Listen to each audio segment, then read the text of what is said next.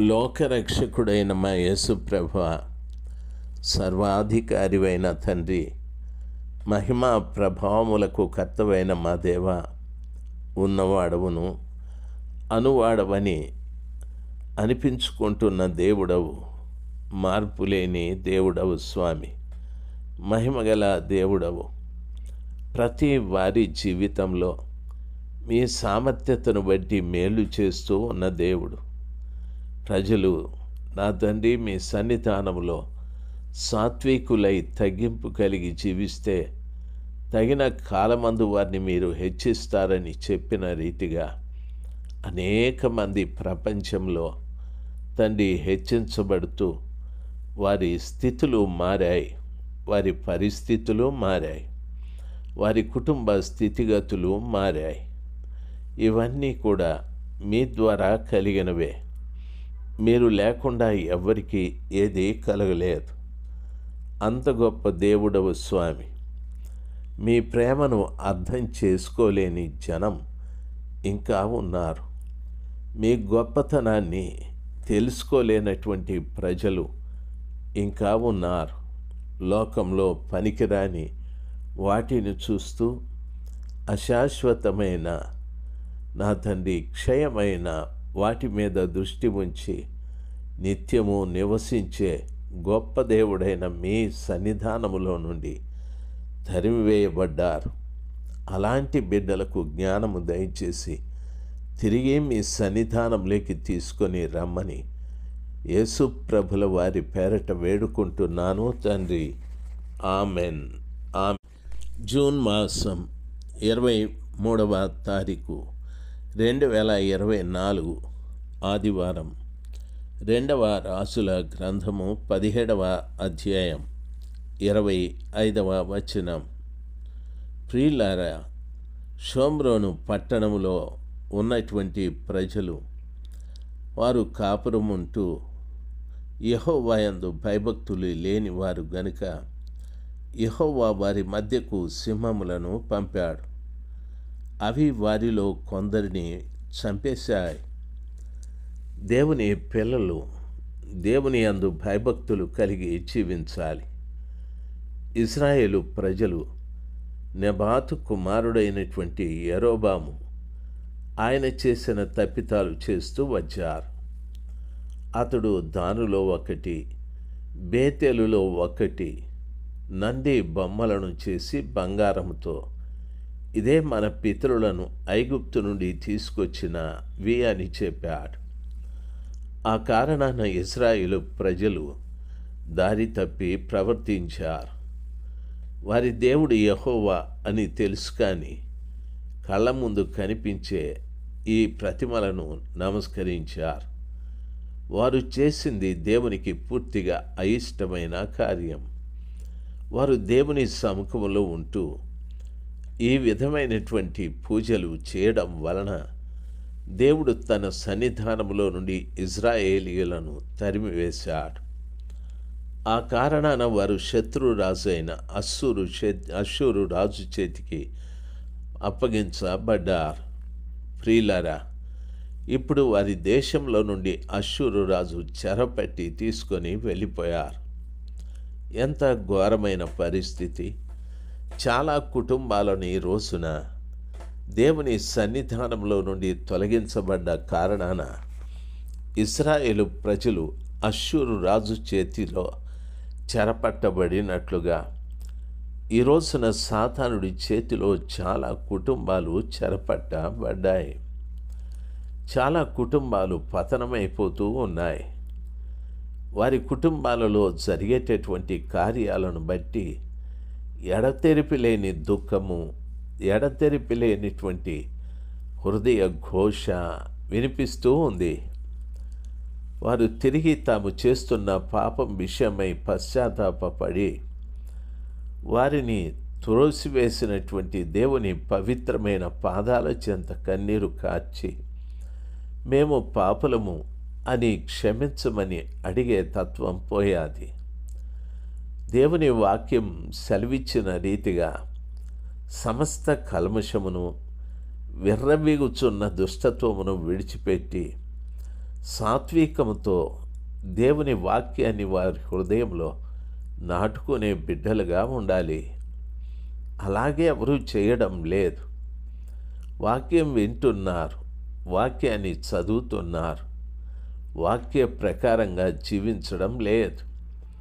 వారు విన్న వాక్యమైన వారు చదువుతున్న వాక్యమైన వారు సాత్వికం కలిగి వారి హృదయంలో దేవుని వాక్యాన్ని నాటుకోవాలి.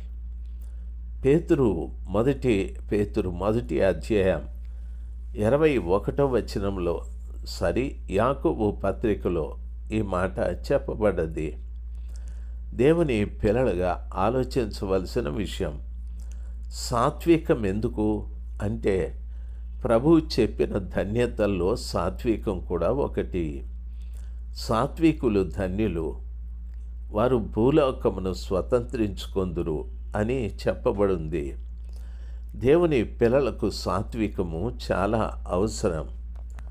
ఆ సాత్వికం ఉంటే ఎవరైతే దేవుని యొక్క ఉగ్ర దేవుడు వారిని తరిమి వేశాడో తోలి వేశాడో ఆ షోమ్రోని తిరిగి వారు సంపాదించుకునే అవకాశం ఉంటుంది. ఎక్కడైతే దేవుణ్ణి వారు పోగొట్టుకున్నారో అక్కడ తిరిగి వారు సంపాదించుకోవడానికి దేవుడు అవకాశం ఇస్తున్నాడు. కాబట్టి ప్రతి క్రైస్తవుడికి సాత్వికము అవసరం. దుష్టత్వం చేత విరగ విరవేగకూడదు. సమస్త కల్మషంతో నింపబడి ఉండకూడదు. అలాంటి అవలక్షణాలు నాలో మనలో ఉండకూడదు. ఆ రీతిగా ఉంటే మనము ఎంతో శ్రమ పడవలసి వస్తుంది. అశురు రాజు అశోమ్రోన్లో నివసించిన ఇస్రాయిలు ప్రజలు అశ్షూరుకు వెళ్ళిపోయారు బానిసలుగా. ఇప్పుడు అనేక మంది పనికి వేరే తెగ ప్రజలు వచ్చి అక్కడ నివాసము చేస్తున్నారు. అక్కడ ప్రవక్త ద్వారా మాటలు వింటున్నారు కానీ వారికి భయం లేదు. అందుకని దేవుని భయం లేక బ్రతుకుతున్న వారి మీదికి దేవుడు సింహాలను పంపించాడు. ఆ సింహాలు వారిని చంపేస్తూ వచ్చాయి. ప్రియులరా గమనించవలసిన విషయం ప్రజలు దేవుని మాటకు అవిధేయత చూపెట్టిన కారణాన దేవుడు అరణ్యములో ఉన్న క్రూర జంతువులను పంపి వాటి చేత ప్రజల్ని చంపిస్తూ వచ్చాడు. అంటే మనుషుడు ఎంత క్రూరత్వం కలిగి ఉన్నాడో వాని క్రూరత్వాన్ని అణిచివేయటానికి వాని అవిధేయతను అణిచివేయటానికి వానిలో ఉన్న అహంకారము గర్వాన్ని అణిచివేయటానికి సింహాలను పంపాడు. వింటున్న ప్రియులరా ఆ రీతిగా అవి చంపుతూ వచ్చాయి. వారు ఎంతగానో భయపడ్డారు. కొందరిని చంపిన కారణాన తమరు పట్టుకొనిన షోమ్రోను పట్టణములలో తాముంచిన ఆ జనులకు ఆ దేశపు దేవుని మర్యాద తెలియకున్నది గనుక ఆయన సింహములను పంపించాడు. ఇస్రాయేలు దేవుని మర్యాద వారికి తెలియనందున సింహములు వారిని చంపుచున్నవని వారు అశ్షూరు రాజుతో మనవి చేసుకున్నారు. షోమ్రోను పట్టణములో నివసిస్తున్న ఆ పరా వ్యక్తుల మీదికి దేవుని భయంతో పాటు దేవుని మర్యాద కూడా వారికి తెలియదు. ఆ కారణాన్నే సింహాలు వచ్చి వారిని తినివేస్తూ ఉన్నాయి. వారు వెళ్ళి నిజమైన దేవుడైన యెహోవాకు మొరపెట్టవలసిన వారు అశ్షూరు రాజు దగ్గరికి వెళ్ళి మొరపెడుతున్నారు. దేవుడు చేసే కార్యాన్ని మనుషుడు అడ్డుకోగలడా? మనుషుడు దాన్ని వారించగలడా? ఏనాటికి కుదరని కార్యం. ఈ రోజున అదే జరుగుతూ ఉంది. ఆ కృపగల దేవుని యొక్క మర్యాద నేర్చుకోనటువంటి క్రైస్తవులు ఆ కృపగల దేవుని యొక్క మాటలకు భయపడని క్రైస్తవులు ఈ రోజున సింహాల చేత చనిపోతూ ఉన్నారు. మన కుటుంబాల్లో సింహం లాంటి క్రూరత్వము కలిగిన మనుషులు బోలెడంతమంది ఉన్నారు. కట్టుకున్న భర్తని కానీ తాము పెళ్ళి చేసుకున్న భార్య అని కానీ తమ కడుపున పుట్టిన పిల్లలని కానీ ఏ మమకారాలు ప్రేమలు బంధాలు అన్నీ నశించాయి. ఒక్కొక్కరిలో సింహము కనిపిస్తూ ఉంది. ఆ సింహము కొట్టే పంజా దెబ్బలు ఆ సింహము వారిని రక్కినప్పుడు అవి ఎంతోమంది బాధపడిపోతూ ఉన్నారు. తమ ముందు సింహం వచ్చి కూర్చుంటే ఏ మనుషుడు ధైర్యంతో ఆగలేడు కదా? ఆ రీతిగా కుటుంబాలలో సంఘాలలో చాలామంది సింహములాగా వ్యవహరిస్తూ ఉన్నారు. మీరే ఆలోచించండి. ఆ భయానికి చాలామంది చదిరిపోవడం పారిపోవడం దాక్కోవడం ఇలాంటివి జరుగుతూ ఉన్నాయి. ఒక దుస్సంఘటన. ఓ భార్య భర్తకు ఇద్దరు పిల్లలు పాలు దాగే బిడ్డ ఒక బిడ్డ భర్త పెట్టే అరాచకాలను భరించలేకపోయాది. వాడు త్రాగడమే కాకుండా వాడు తాగే సిగరెట్తో అమ్మాయిని కాల్చేవాడు.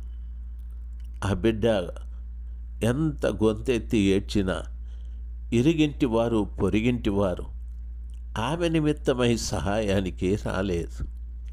తాను పుట్టింటికి వెళితే పుట్టింటి వారు అమ్మాయి పిల్లల్ని తీసుకొని భర్తను వదిలిపెట్టి వచ్చేది అనే అవమానానికి భయపడి నీ భర్తింటికే వెళ్ళిపో. ఎప్పుడైనా భర్తే కావాలి అని పంపించేశారు.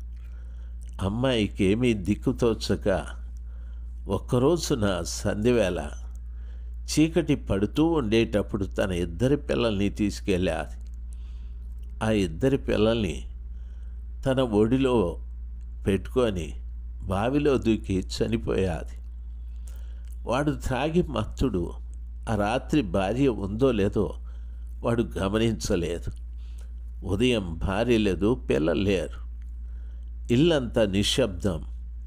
ప్రియులారా ఆ సింహము ద్వారా కుటుంబానికి కలిగిన నష్టం.